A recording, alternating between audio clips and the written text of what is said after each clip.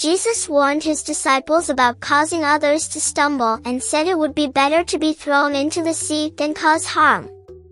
He urged them to forgive those who repent, even repeatedly.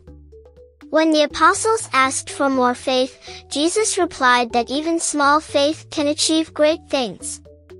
He also taught that after doing what is expected, they should humbly consider themselves as only having done their duty, not expecting special thanks. One day, Jesus met ten men that had leprosy. Leprosy is a wildly spreading skin disease. Lepers had disfigured skin and open wounds.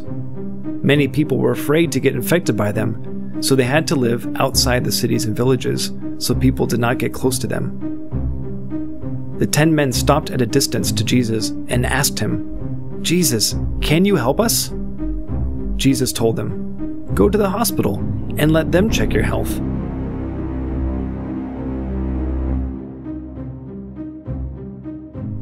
Once they were on their way there, they were all healed.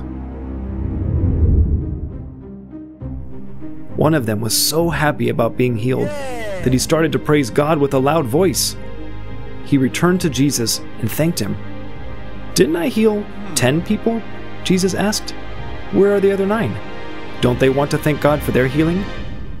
To the man who came, he said, Your faith in me has made you healthy. Jesus told the Pharisees that the kingdom of God is not something visible, but already in their midst.